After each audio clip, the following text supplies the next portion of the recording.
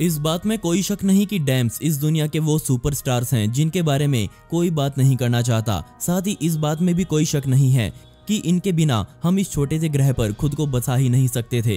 ये असल में बहुत बड़ी मात्रा में पानी को इकट्ठा करके रखने का काम करते हैं। ये आज हमें हमारे जीवन के लिए सबसे ज़रूरी पानी उपलब्ध करवाते हैं। साथ ही ये हमें वो ऊर्जा भी प्रदान करते हैं जो हमारे जीवन को आसान बनाती है।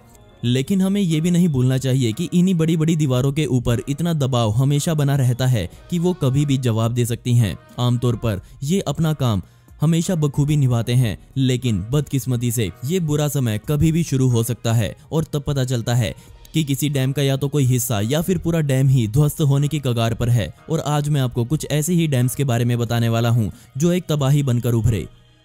तिवारी डैम। हमारे भारत के महाराष्ट्र में बने इस डैम पर तब कई दिनों से भारी बारिश हो रही थी। सन 2000 में बना ये डैम दिखने में तो मज़बूत था, लेकिन वहाँ रहने वाले लोगों ने कई बार सरकार को ये बताया कि इसकी दीवारों में कई जगह छोटे बड़े क्रैक्स आ चुके हैं। इन त्रेडों को आए कई साल बीत चुके थे, लेकिन इस पर किसी ने भी ध्यान नहीं दिया, क्योंकि किसी को समझ नहीं आ रहा था कि ये डैम किस ज़िले की सीमा में आता है। अब कोई भी अधिकारी इस डैम की ज़िम्मेदारी नहीं ले रहा था तो वहाँ रहने वाले लोकल लोग ही उसका थोड़ा बहुत ध्यान रख रहे थे। लेकिन फिर 2 जुलाई 2019 की रात आई।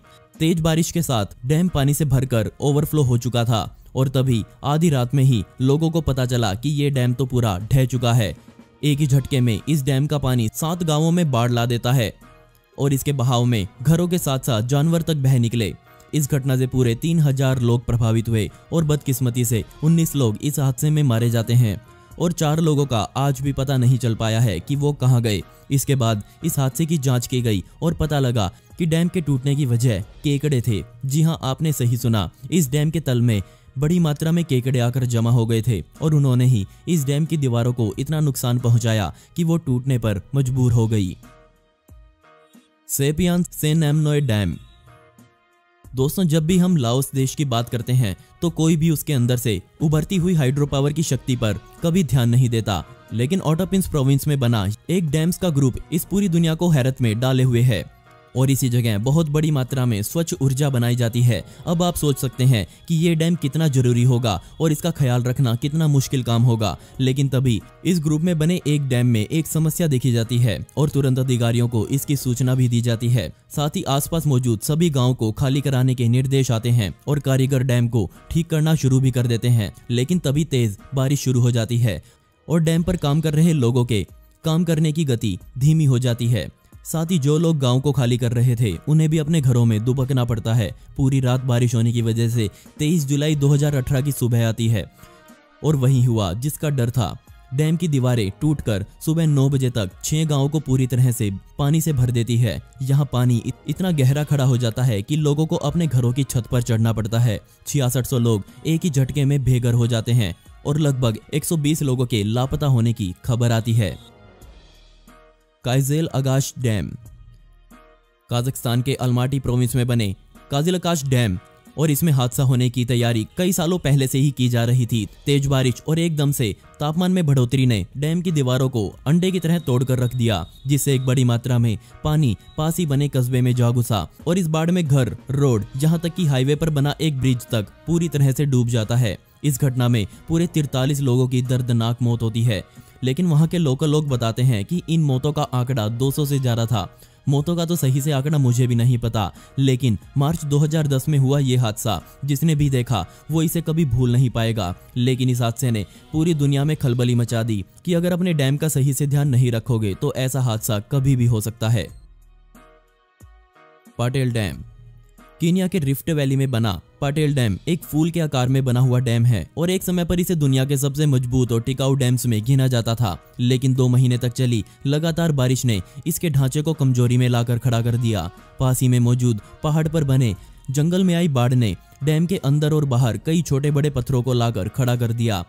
इस वजह से डैम बुरी तरह से क्षतिग्रस्त हुआ और तभी 9 मई 2018 का दिन आया, जब डैम में मौजूद दीवारों में से एक इतना तनाव बर्दाश्त नहीं कर पाई। और पानी का समुद्र ही आसपास के क्षेत्र में फूट पड़ा।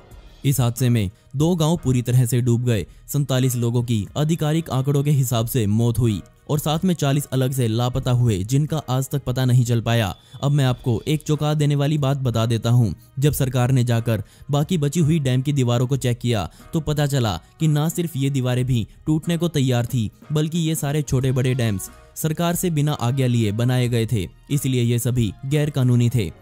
यहाँ रहने वाले लोगों ने बताया कि ये डैम्स पिछले 20 सालों से ऐसे ही यहाँ खड़े हैं। किस्मत से बाकी बचे हुए डैम्स उस समय नहीं टूटे और सरकार ने उन डैम्स को खाली करवा डाला और वो आज भी पूरी तरह से लावारिस हैं। और अब या तो वो अपने अंदर फिर से पानी आने का इंतज़ार कर रहे हैं या फिर वो अपने गिरने का इंतज़ार कर रहे हैं।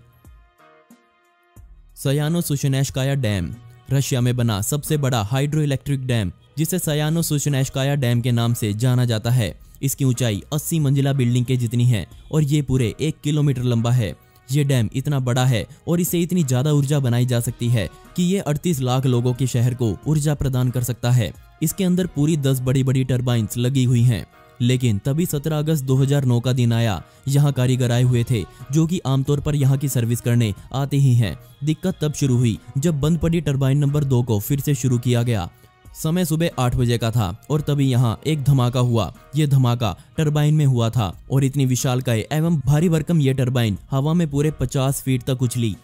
डैम में लगे सभी सुरक्षा के उपकरण इस हादसे को होने से नहीं रोक पाए। इस टरबाइन में मौजूद 40 टन तेल बाहर निकलना शुरू हुआ और जाकर सीधा अनीसा नदी में मिल गया। किस्मत से इस डैम की कोई दीवार नहीं टूटी, वरना इससे जो जानमाल का नुकसान होता, वो दुनिया भर में सुर्खियों का कारण बन जाता। दोस्तों, आपको इनमें से सबसे बदकिस्मत डैम कौन सा लगा? मुझे नीचे कमेंट सेक्शन में ज़रूर बताइएगा। और इस वीडियो का पार्ट टू चाहिए हो तो कमेंट में पार्ट टू ज़रूर लिखें। ऐसी ही इंटरेस्टिंग वीडियोस देखने के लिए मिस्टीरियस दुनिया को अभी सब्सक्राइब करें। मिलते हैं अगली वीडियो में। ये वीडियो देखने के लिए